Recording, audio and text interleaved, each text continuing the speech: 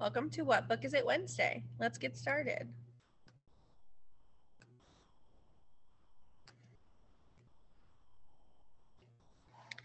Unearthed. Donovan Curtis.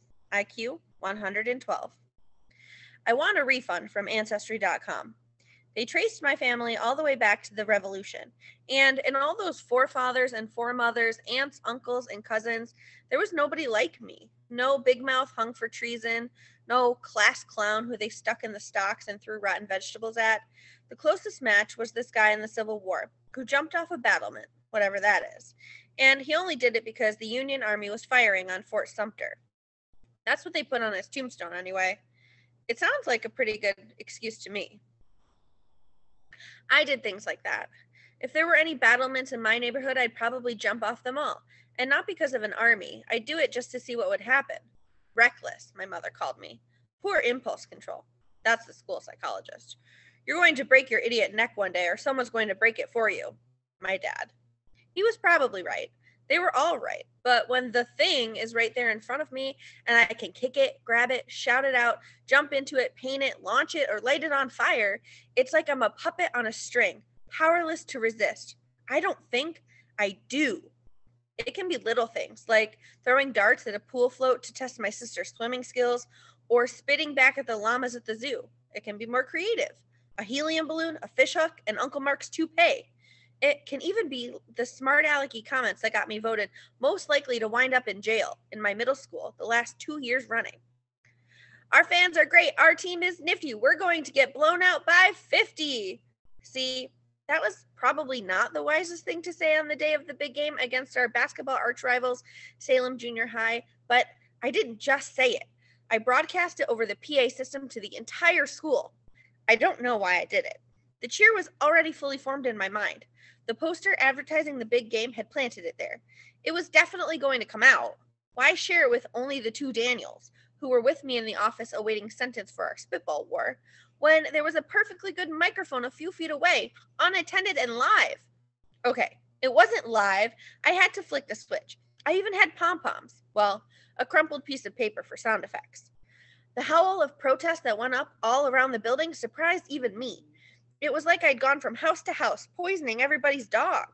It was probably for my own good that I wound up in detention. If I'd been free in the halls at 3:30, I would have been lynched.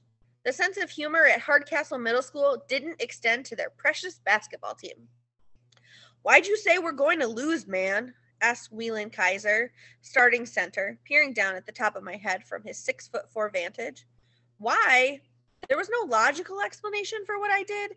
It had to come from my DNA. That's why I needed Ancestry.com.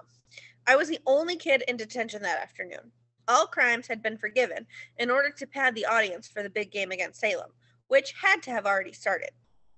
All crimes except mine, dissing the basketball team, even the Daniels, two thirds of the spitball war had been cut loose while I was doing time.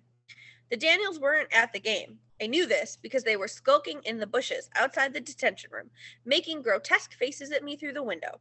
If they could make me laugh, and it wasn't easy to hold back, I'd be in even more trouble. As it was, Mr. Fender was checking his watch every 30 seconds. He wanted to be at the game, not babysitting me. Finally, he could bear it no longer. I'll be right back, he told me sternly. The instant he was gone, the window was flung open from the outside. Come on, hissed Daniel Sanderson. Let's get out of here. He's coming back, I protested. No, he's not, scoffed the other Daniel, Daniel Nussbaum. He's going to the office to watch the feed from the security camera in the gym. You've only got 10 more minutes. If he's any kind of basketball fan, you're golden. I was out the window like a shot, breathing sweet, free air. See what I'm saying? The open road called and I took it. This time I'd needed a little help. That's where the Daniels came in. They helped me a lot. They'd helped me to the office with our spitball fight and helped me to the PA mic by daring me to do it. With friends like them, sometimes I wondered why I would ever need enemies. I turned on them. Thanks for letting me take the fall alone. Your support was really touching. Nussbaum shrugged innocently. I couldn't take credit for your poem. It wasn't a poem, it just happened to rhyme.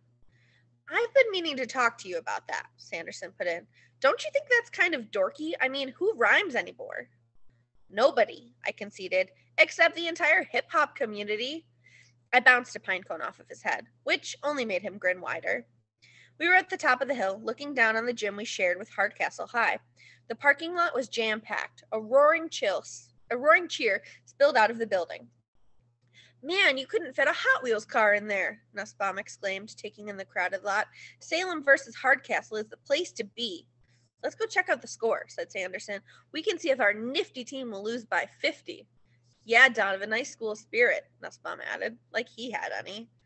We started down, the Daniels jostling each other absently. A kind of friendly belligerence came naturally to those two. Maybe they were descended from the Hatfields and the McCoys. I'll bet the Daniels had never checked it out on Ancestry.com. And then the moment was upon me. I must have passed the statue of Atlas a thousand times, going back and forth on the campus of the Hardcastle Public Schools, yet somehow it was like I had never seen it before. It was not the Titan's broad, powerful shoulders supporting the bronze globe of the world and heavens that seemed so different. But since when did Atlas have such a big butt? Seriously, I knew he was a Titan, but I didn't know that the most titanic thing about him was his caboose. He looked like a reject from the biggest loser. Suddenly, I was striding toward the statue in an almost trance like state. I picked up a fallen tree branch and made my approach. Nussbaum noticed my zombie like concentration. Dude, what are you doing? I didn't answer, and he didn't really expect me to. He knew me. They both did. I cocked back the branch and unloaded a home run swing. The impact vibrated up through my arms to my brainstem and into every cell of my body. The branch shattered in my hands. I have to say that this was always the best part of it for a guy like me. The split second the tomato hits the car, the very brief flight as I drop from the edge of the roof to the pool, the instant that the balloon lifts the toupee and the sun's rays glint off that shiny bald head, or, in this case, the gong sound from the statues browns behind, the payoff. It was usually downhill from there, sometimes literally. Atlas shivered as the vibration traveled through his metal body. The celestial sphere shivered too, rocking dizzily on his muscular shoulders. At that point, I noticed for the first time that the sculpture wasn't a single piece of metal, but two, bolted together at the nape of the Titan's neck. Corrosion is a terrible thing. It was all in slow motion, but there was nothing you could do to stop it. With a crack, the bolt snapped, pieces whizzing out of sight. The ball of the world and heavens toppled and hit the ground with a whomp. I was still wrapped up in the deed, lost in the moment. It took the twin gasps from the Daniels to break the trance, and by that time the heavy ball was already rolling. Oh no. The big bronze globe careened down the hill toward the gym, picking up speed as it went. I ran after it, although what I thought I could do to stop it, I have no idea. Help me! I called to the Daniels, but they were already heading in the opposite direction. They liked to watch me do stuff. They had a lot less interest in hanging around for the consequences. Heart sinking, I projected the course of the runaway globe. The prognosis was not good. It was hurling straight for the parking lot, where a lot of innocent cars were waiting to get bashed in. Desperately, I threw myself headfirst at the juggernaut. When my shoulders struck the heavy metal, it felt like running into a brick wall. If it changed the direction at all, it was about a millionth of an inch. Flat on my face now, all I could do was watch. The globe screamed down toward all that expensive machinery, bounced off an upturned curbstone, and caromed toward the building. The cars were safe, but the world and heavens were now on a collision course with the basketball game. It pulverized the glass doors, sending up a blizzard of shards that obscured the entrance. I heard a very sharp whistle blast, like the referee was calling a foul on Atlas, or possibly me. There was another relative on Ancestry.com. He wasn't very much like me. I doubt I would have remembered him at all, except for his name James Donovan. I'd wondered if I was named after him, although my mother claimed she'd never heard of the guy. He immigrated from Ireland in 1912, which would have been fine, except that the ship he picked was, think Atlas here, the Titanic. As decision makers, he and I were pretty much on the same level. But get this he didn't die. He was plucked from the freezing water alive. James Donovan was a survivor. If I had inherited any of those skills, I had a sinking feeling they were about to come in handy.